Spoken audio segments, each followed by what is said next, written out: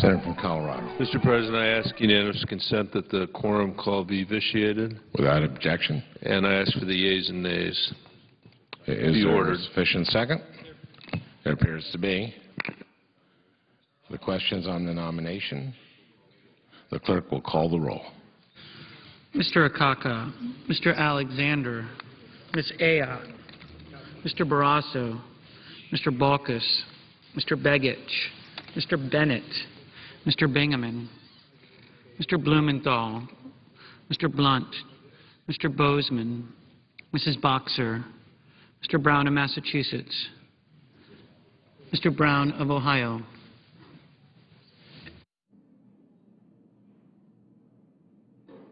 Mr. Burr, Ms. Cantwell,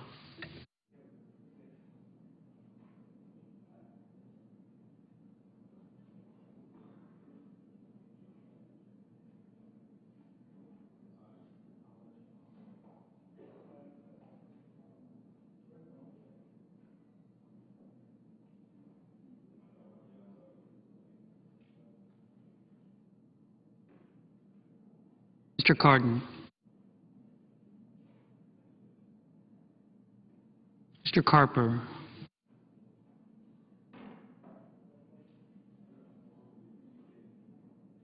Mr. Casey,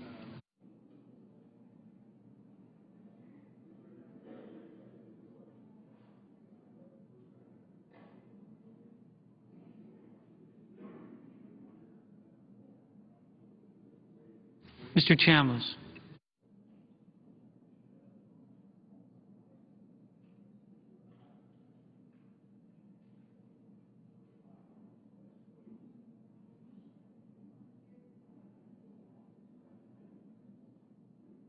Mr. Coats,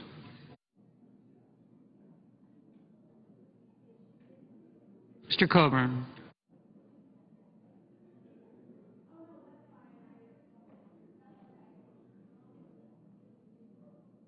Mr. Cochran,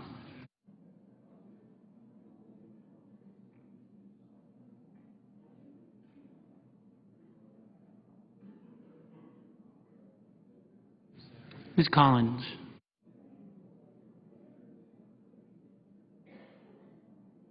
Mr. Conrad,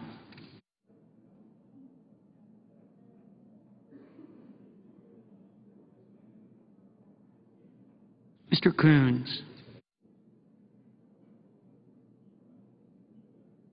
Mr. Corker,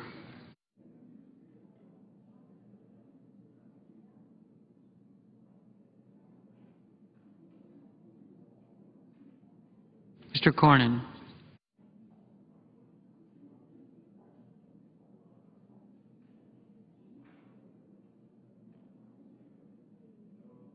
Mr. Crapo,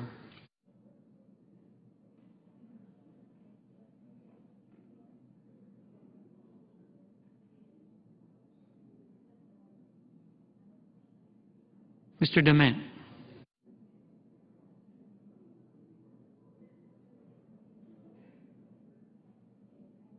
Mr. Durbin,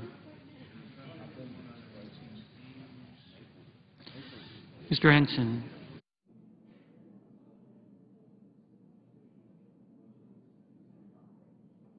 Mr. Enzi,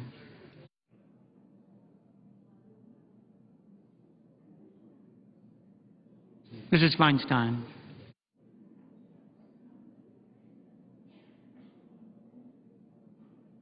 Mr. Franken,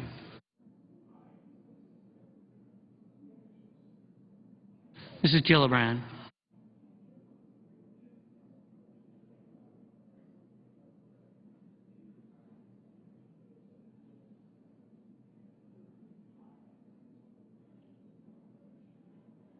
Mr. Graham,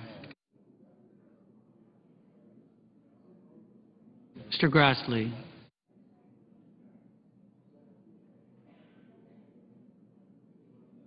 Mrs. Hagan,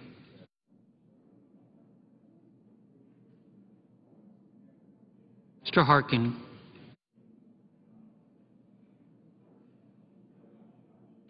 Mr. Hatch,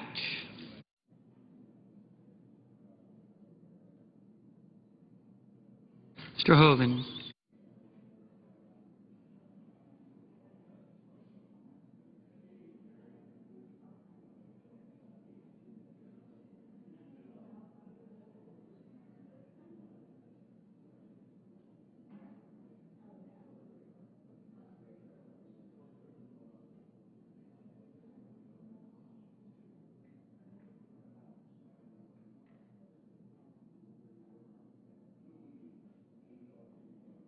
Mrs. Hutchison.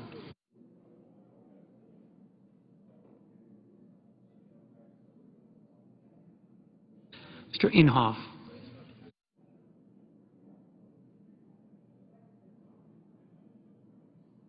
Mr. Inouye.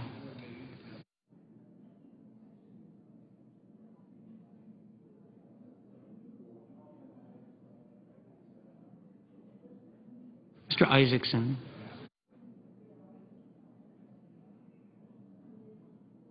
Mr. Johanns.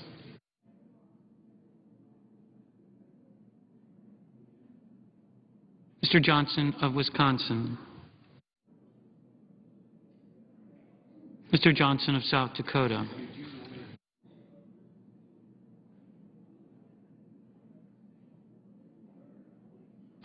Mr. Kerry.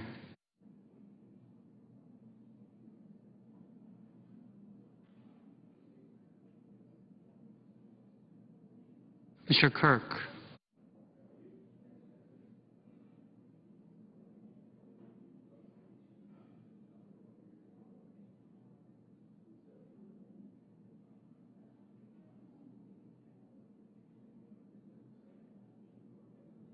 Ms. Klobuchar.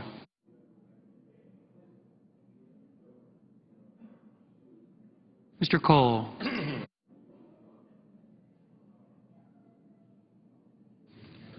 Mr. Kyl.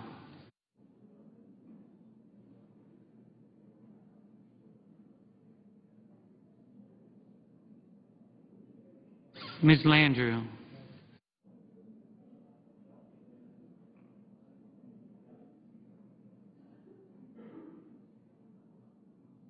Mr. Lautenberg.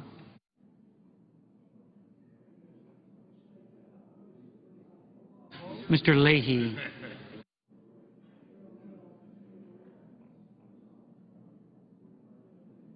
Mr. Lee.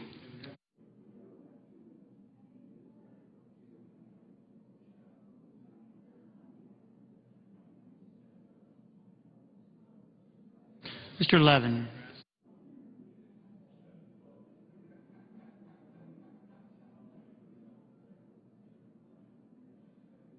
Mr. Lieberman.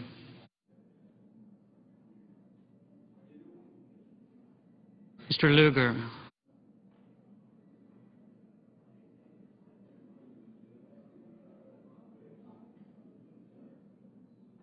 Mr. Manchin.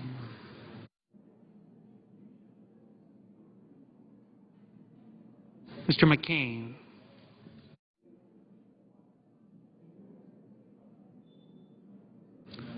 Mrs. McCaskill.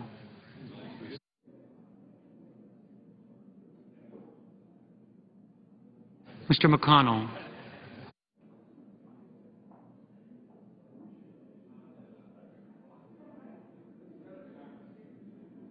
Mr. Menendez.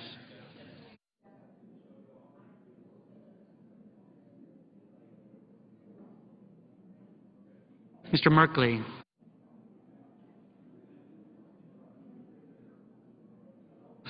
Ms. Mikulski.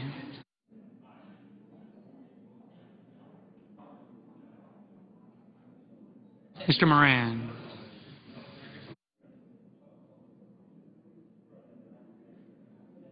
Ms. Murkowski.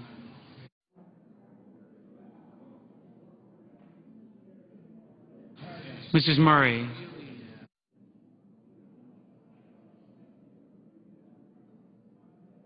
Mr. Nelson of Nebraska.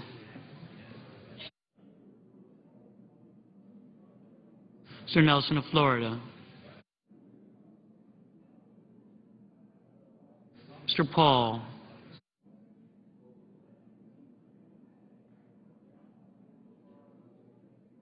Mr. Portman.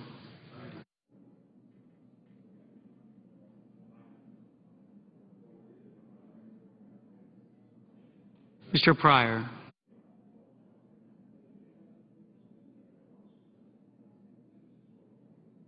Mr. Reed of Rhode Island.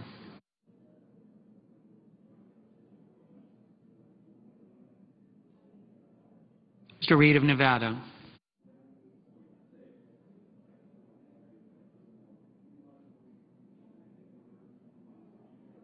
Mr. Risch.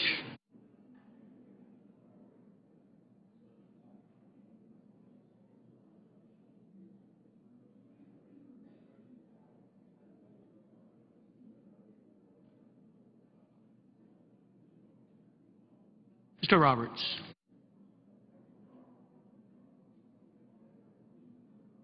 Mr. Rockefeller.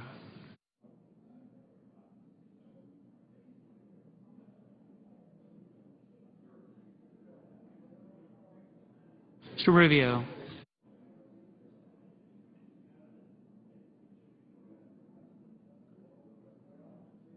Mr. Sanders.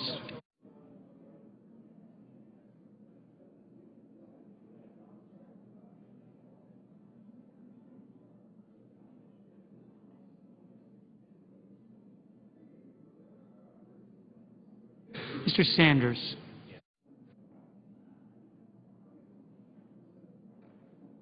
Mr. Schumer.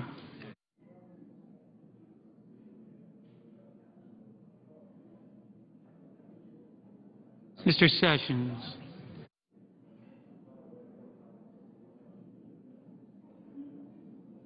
Mrs. Shaheen.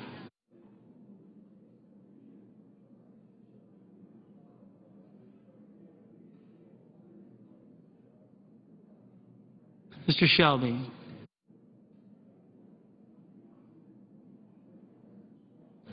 Ms. Snowe.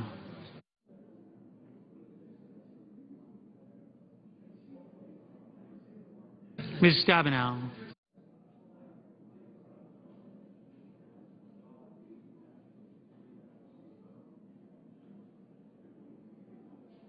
Mr. Tester.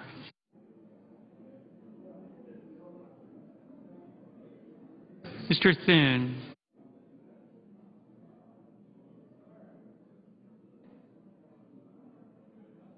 Mr. Toomey.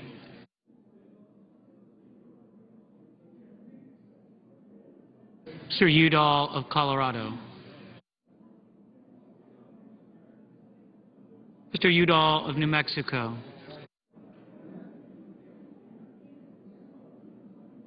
Mr. Vitter.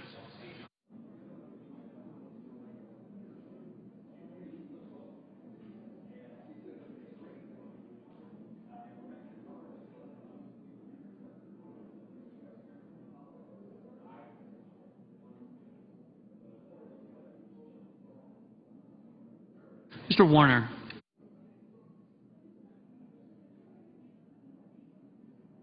Mr. Webb.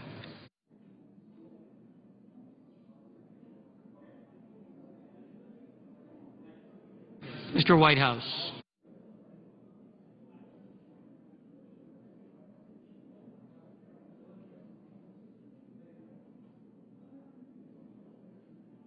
Mr. Wicker.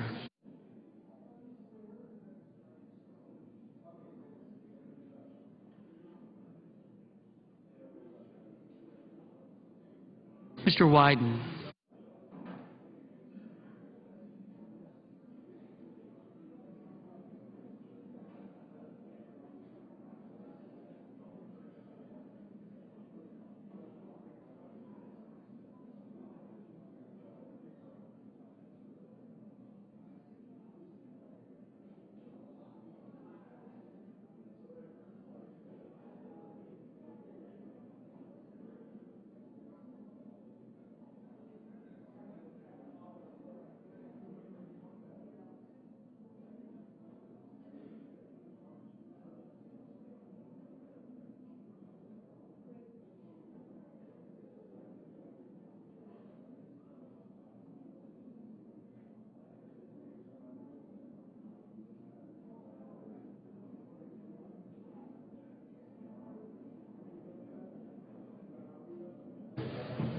Senators voting in the affirmative.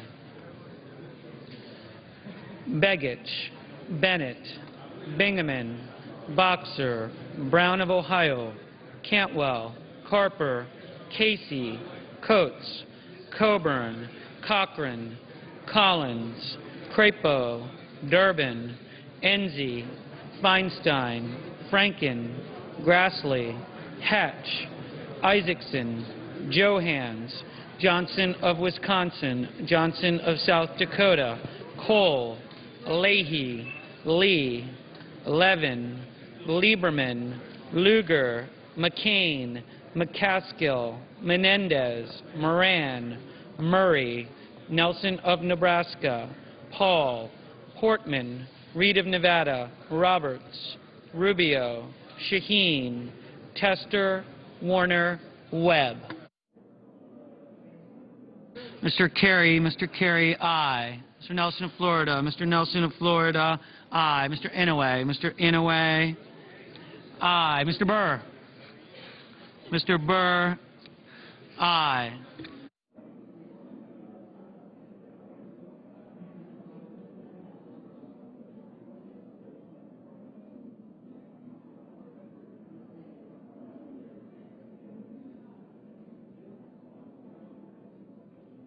Mr. Akaka, Mr. Akaka, aye.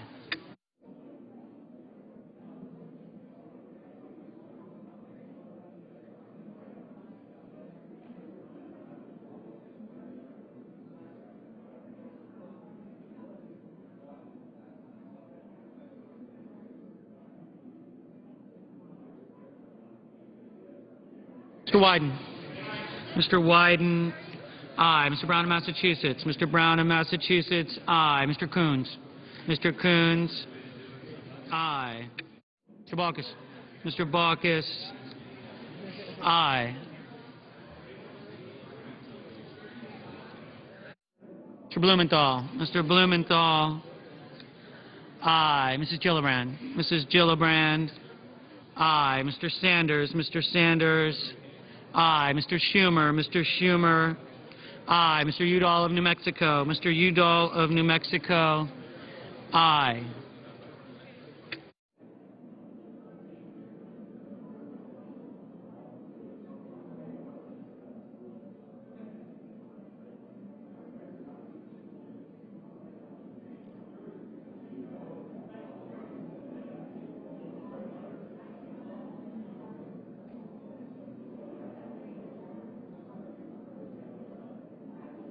Mr. Whitehouse.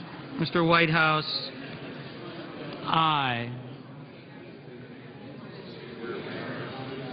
Mr. Cardin. Mr. Cardin, aye. Mr. Pryor. Mr. Pryor, aye. Mr. Inhofe. Mr. Inhofe, aye. Mr. Boozman. Mr. Boozman, aye. Mr. Shelby. Mr. Shelby, aye.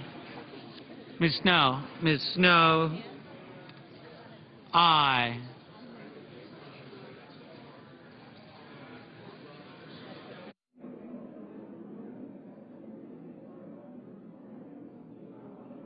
Mr. Manchin, Mr. Manchin, aye. Mr. Hoven, Mr. Hoven, aye.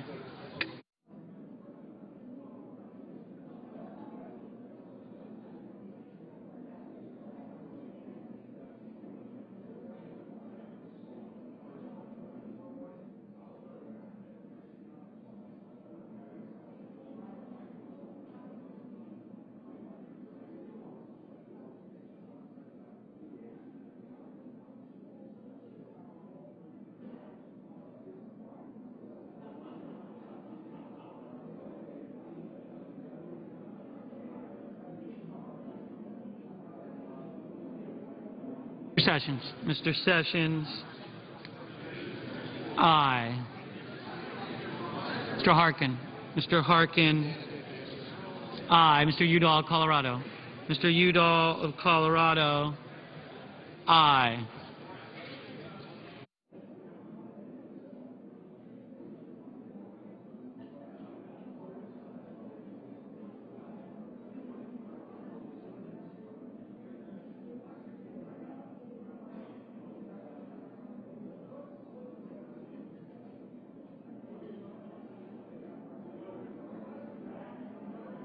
Ms. Murkowski, Ms. Murkowski, aye.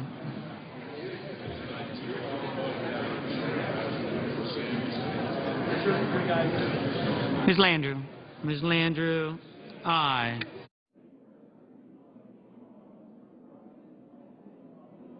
Mr. Chambliss, Mr. Chambliss, aye.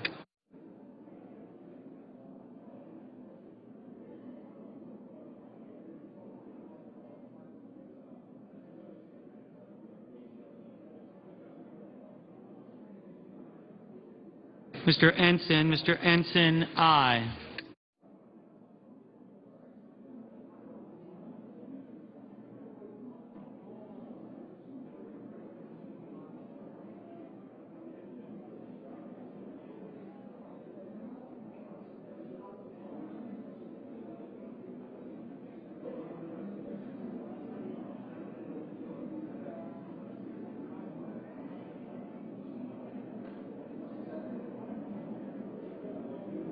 Mrs. Hagan, Mrs. Hagan. Aye.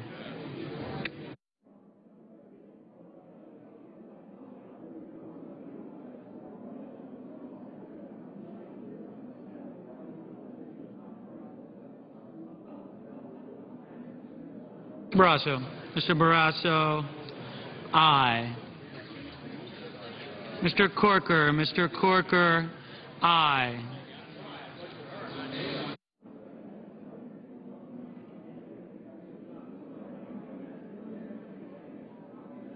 Ms. Mikulski. Ms. Mikulski. Aye.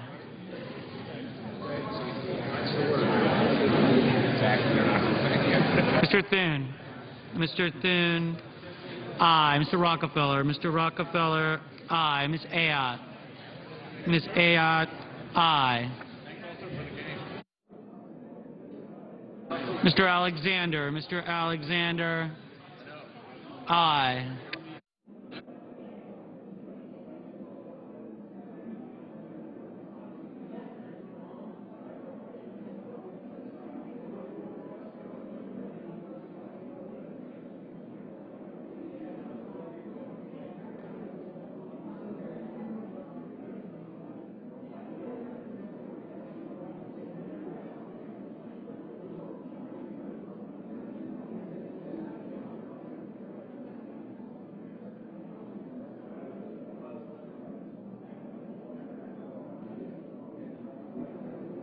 Mr. Kyl. Mr. Kyl.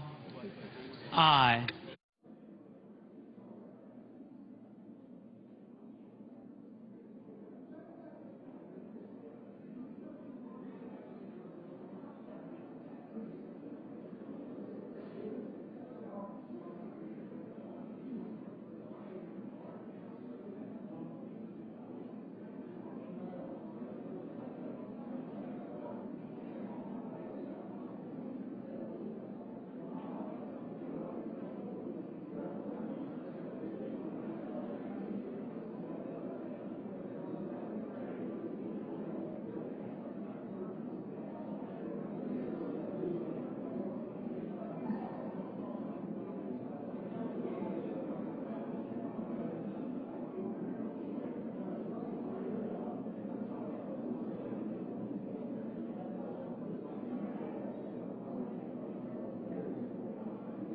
Mr. Cornyn. Mr. Cornyn. Aye.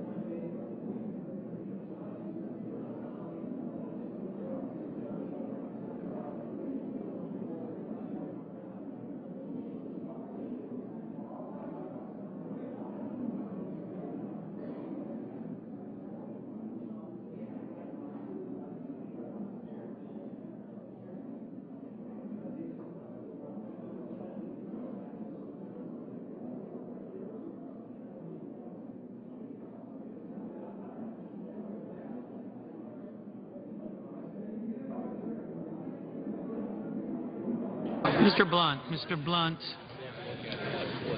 Aye. Mr. McConnell. Mr. McConnell. Aye.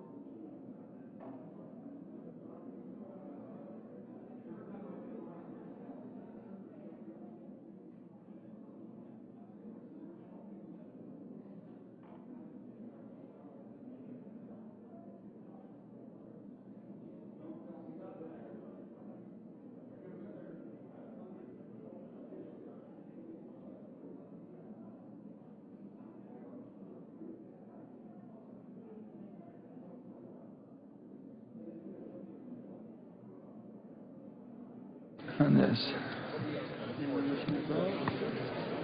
Change the vote.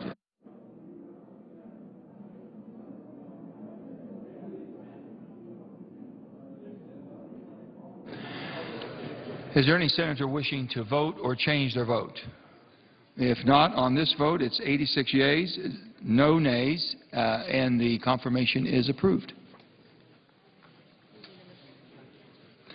Under the previous order, the motion to reconsider is considered made and laid upon the table. The President will be immediately notified of the Senate's action, and the Senate will resume legislative session.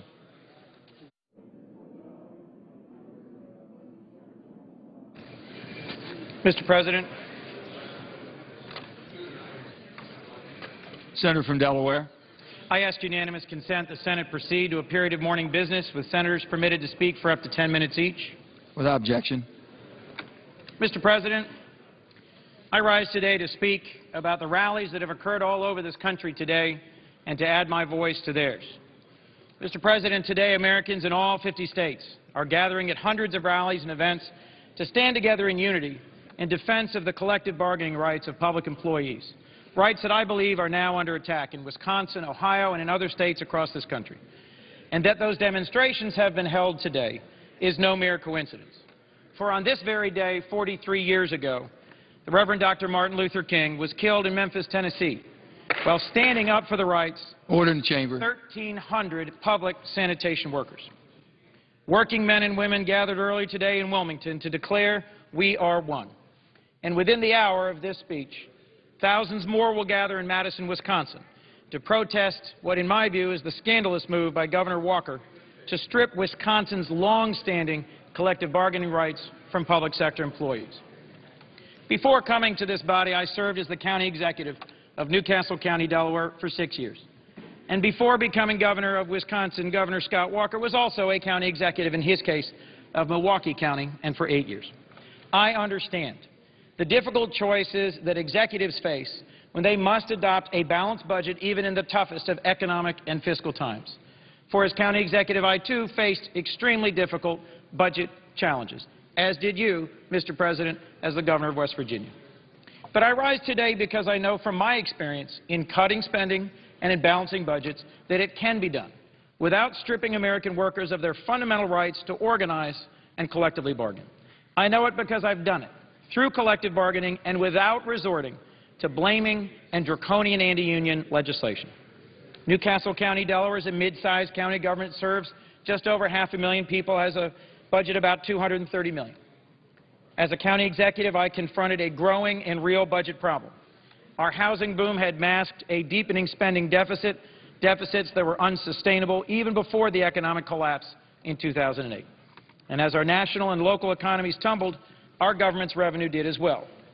I'd already spent my first few years as county executive cutting spending each and every year, and the simple cuts had given away. We had only fundamental cuts left in front of us. We had already reduced library hours, ended popular public events, made difficult choices that many local governments and many state governments face today. But that wasn't enough. As with many state and local governments, our budget was three-quarters personnel costs, and we could not allow those costs continue to grow as health care and pension costs boomed. We needed to cut our people costs to get our budget under control. Now, in our case, in the case of the county I formerly served, more than 80 percent of the county workforce is represented by organized labor, mostly by AFSCME, but also the FOP and the IBEW. And we needed all groups, all groups, Order, please.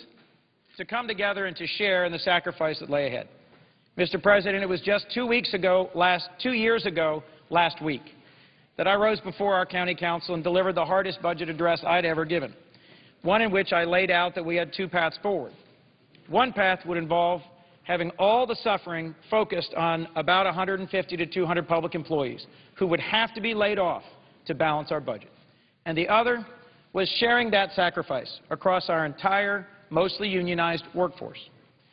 Ultimately, after many meetings, many negotiations, very hard talk and debate, and yes, even at one point some layoffs, every bargaining unit in our county government came to the table, worked collaboratively, and helped us reach the goal of cutting 5% of our total personnel costs, not just one year, but as the recession continued and deepened, a second year as well.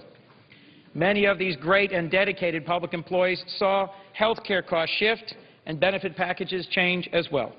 But together, they were willing to share that sacrifice, to work in the best interests of our county and the public, and to acknowledge that we are one. In some ways, seeking a legislative solution such as has been done in Wisconsin, trying to simply strip away the right to be organized, to be at the bargaining table, might have seemed easier. Working together, as you know, Mr. President, as labor and management is not an easy path. No one wants to hear that they have to do more with less, especially when it comes to their own paychecks. And public employees in Delaware and all across this country are, in my view, not just the backbone of our community, but the backbone of our middle class. They are the policemen, the paramedics, the 911 call takers, the emergency sewer repairmen, the librarians, the teachers, the health service workers, and the prison guards, the folks who keep our community safe, healthy, and prepared for the future day in and day out. And in my view, where public employees come together to organize and seek collective representation on workplace issues, we ought to respect those choices. Collective bargaining serves as a critical check on our system, and its long and storied history is an important part of American history and American values. It is that check that led to the end of child labor practices, that led to the 40-hour work week and the weekend, to workplace safety rules, and ended legal sweatshops. It is a critical check against excesses and overreach by management and by the marketplace. Mr. President, I stand here today to remind all of us that labor unions and hundreds of thousands of public employees they represent in this country are not the enemy. We all know that this country faces a significant, almost devastating national debt and annual budget deficit. And we are going to have to make shared sacrifices and tough choices to get through these next few years. But that does not require that we strip the collective bargaining rights of the hundreds of thousands of public employees who serve us in the federal government and the hundreds of thousands, even millions of public employees who serve our nation at each and every level of government. More often than not, they do the difficult, the dirty, and the dangerous jobs that keep us safe and make our community strong. And they simply, in my view, do not deserve to be demonized, but rather to be listened to, respected, and partnered with as together we seek solutions to the challenges facing our country now and in the future. In my view, passing new laws to eliminate their basic collective bargaining rights is wrong, and we can do it better by working together. So today I join with all those who are standing up for these fundamental rights of the American worker and join them in declaring we are one. Mr. President, I note the lack of a quorum. Mr. President. Will the senator withhold his suggestion? Mr. President. Senator from Ohio. Uh, Thank you, Mr. President. I uh, came to the floor for about the same reason Senator Coons did. I appreciate the comments from the senator from Delaware in his first, uh, beginning of his first term in office, and he obviously understands uh, the importance of worker rights, the importance of, of collective bargaining. He recognizes that I do that in my state, when collective bargaining passed 30 years ago, uh, that we, we, we no longer saw blue flu where police officers called in because they had no ability to bargain, organize and bargain collectively. They'd call in sick the same day.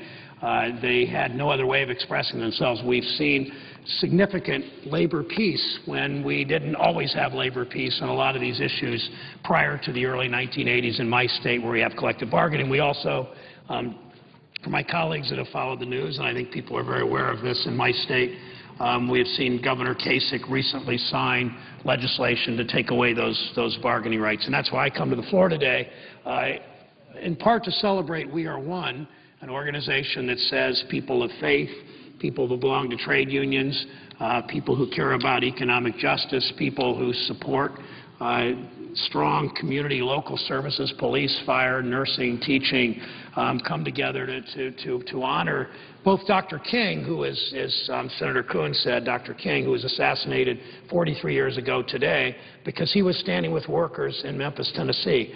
Uh, sanitation workers, um, some had been crushed to death by heavy machinery on the job, had no ability to bargain collectively, nobody to fight for them, most of them African American.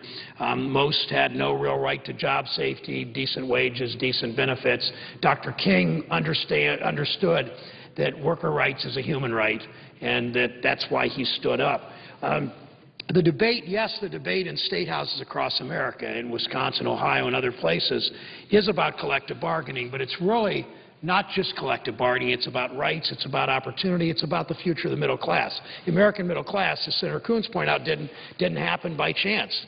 Uh, those aspiring to the middle class had to work hard and play the rule, play by the rules in order to enter it.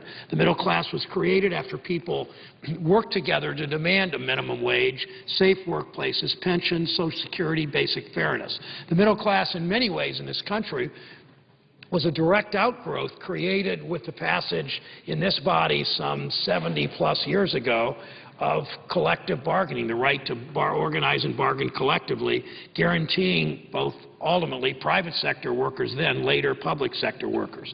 Now, last fall, we heard many of the winners, particularly Republican winners in the election in my state and I think across the country, talk about loss of jobs, the job loss that began during the during the Bush administration when President Obama took office, we were losing 700,000 jobs a month.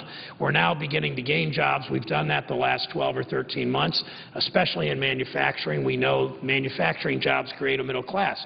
But after winning these elections last fall in my state, instead of focusing on jobs as they did during the election, too many politicians are governing by ideology and seeking to settle old scores. At a time when the middle class is struggling more than any time in my, my lifetimes, when workers see their productivity going up and up and up, but see their wages flat or see their hours even cut back, American families are burdened by new attacks on their rights about a month and a half ago, I had a roundtable in an Episcopal church on State House Square in Columbus, listening to teachers and firefighters and nurses and police officers and other public employees. And what struck me is that as I, as I heard, what struck me is I heard Uh, outside, and outside meaning from politicians, conservative politicians who wanted to, to, to cut off collective bargaining rights, take those rights away um, those people making accusations that these firefighters and police officers and teachers were, were lazy, were overpaid, had too much time off, had um, too big of pensions, had too much, too big of health care benefits. As I was hearing that, I was listening, I was hearing that from, from critics, but I was listening one-on-one -on -one to these public employees.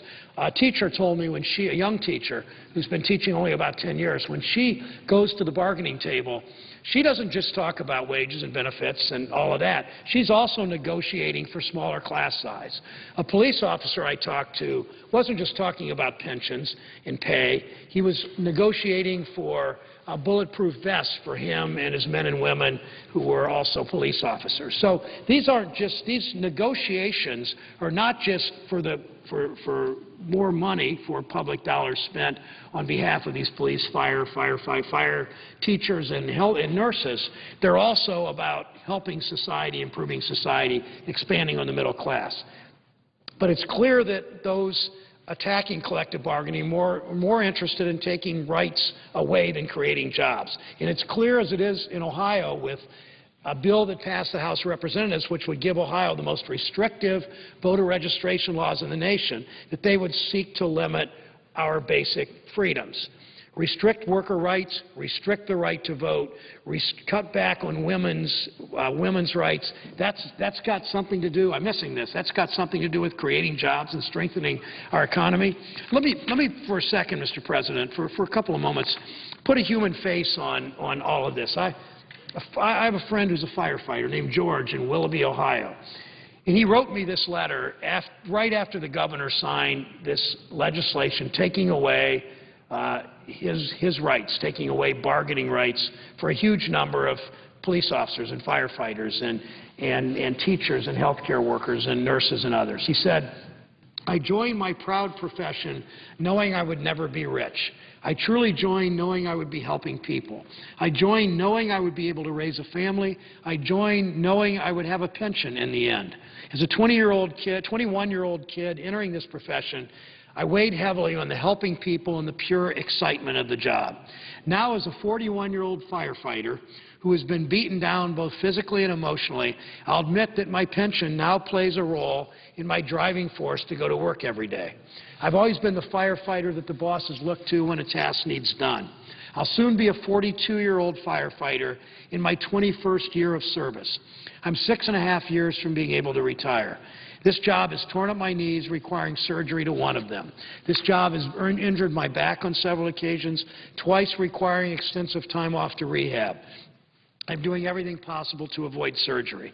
This job has caused memories that will stick with me for the rest of my life, the kind of memories that make you go home and hug your wife and kids and thank God that they are safe. I mention all this because we as public servants, as you know, are being attacked in Ohio. We are being attacked in our profession as well as our retirement. Our fundamental rights, the foundation of our profession, are being attacked. Collective bargaining is the only way we've been able to improve safety as well as maintain a quality of life for our families. This system provides both the taxpayer and the public servant from leaders on both sides who choose to rule with an iron fist. I'm now one of our beat-up senior firefighters who's rapidly approaching retirement age. Where do threats of pension changes leave me or the many others like me if I'm unable to finish my years of service due to injury? Where do those changes leave me if my employer decides it's fiscally responsible to lay off higher-paid, beat-up senior firefighters to keep lower-paid, younger firefighters? Uh, I'll get back to the letter in a second, but understand, Mr. President, under the legislation, my understanding is under the legislation that Governor Kasich signed, that management then would be able to say, well, this firefighter is more likely to get hurt, he's older, we're paying more, we've got to lay off five firefighters, so we'll lay off five of them in their 40s who are paid more and get the younger ones, and that's just too bad. They're not going to have enough years to retire. That's what taking away collective bargaining rights, that's what busting the union um, for these firefighters or police officers or teachers or nurses can do. Back to the letter, Mr. President. In Willoughby, Due to economic conditions, we've not replaced firefighters who have died or retired. In 1990, we ran 2,100 incidents per year. In 2010, we ran just under 5,000 incidents. In 20 years, went from 2,100 runs to 5,000 runs. I'm not sure, I'm, I'm sure we're not the only city who continues to operate understaffed with higher volumes. I consider myself a moderate when it comes to politics. I've always voted for those who support me as a public servant. That's what true public servants do. That was George, a firefighter in Lake County, Ohio, in Willoughby, just east of Cleveland. Mr. President, when, what Eh, eh, again, this is not just about collective bargaining. It's about what we want our country to be. Dr. King, whom we honor as who was assassinated 43 years ago, as I said today. Dr. King delivered the 1965 commencement address in Antioch College in Yellow Springs, Ohio, where Coretta Scott uh, attended many years before. On the moral question of confronting poverty, Dr. King said, there's no deficit in human resources. The deficit is in human will. Yes, we all care about budget deficits. We know we need to move towards a balanced budget. We know our first focus needs to be creating jobs. We want to invest smartly and cut wisely. But we also care about the education deficit. We care about the infrastructure deficit. We care about disparities in education and health care based on class and race and gender. We care about the lack of economic mobility for millions of Americans in underserved urban areas and underserved rural Appalachian areas like much of the presiding officer's state, which borders an underserved rural area in my state. We care these are the deficits. We care about these deficits in our nation. But what is greater is our deficit is what is greater is our deficit and the lack of will to close them. The question becomes, Mr. President, then, do we have the will to do the right thing? Do we have the will to to fight back in Ohio when, uh, when the governor and legislature have eliminated collective bargaining, now effective in 90 days. Do we have the fight, the will to fight for the middle class? Do we have the will to strengthen our country as we cut the budget to move towards a balanced budget, but not cut the things that matter for a productive, strong middle class, for middle class Americans, and for all those people in Ohio and West Virginia and around this country that, want, that aspire to join the middle class? President, I, I, I yield the floor. I notice the absence of a quorum. Clerk will call the roll. Mr. Akaka.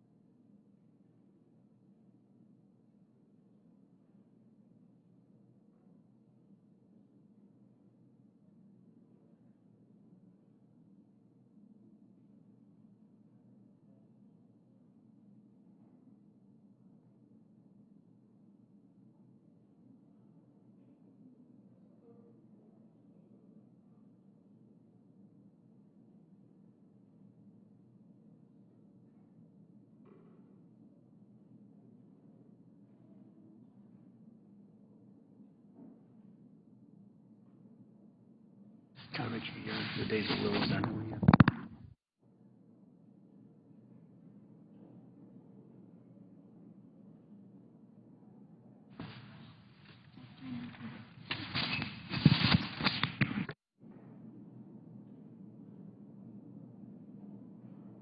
Mr. President, Senator from Ohio, I ask unanimous consent to uh, dispense the quorum call. without objection.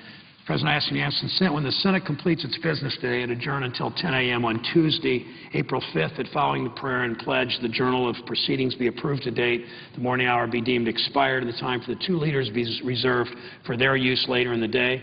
The Senate proceed to a period of morning business until 11 a.m. with senators permitted to speak therein for up to 10 minutes each, with the time equally divided and controlled between the two leaders or their designees with the Republicans controlling the first half and majority the final half, and that following morning business, the Senate proceed to consideration of H.R. 4, 1099, repeal under the previous order. Further, Mr. President, the Senate stand in recess from 12:30 till 2:15 to allow for the weekly caucus meetings. Without objection. Mr. President, Senators should expect two roll call votes at approximately 12 noon in relation to 1099 repeal. We're working to reach an agreement in the small business bill. Senators will be notified when additional votes are scheduled. Mr. Senate, no, Mr. President, if there's no further business to come before the Senate, I ask that it adjourn under the previous order. Without objection. The Senate stands adjourned until 10 a.m. tomorrow morning. The Senate gaveling out. Earlier today, members approved the nomination of Jimmie Reyna to serve on the Federal Circuit Court of Appeals. He's the first Hispanic to sit on that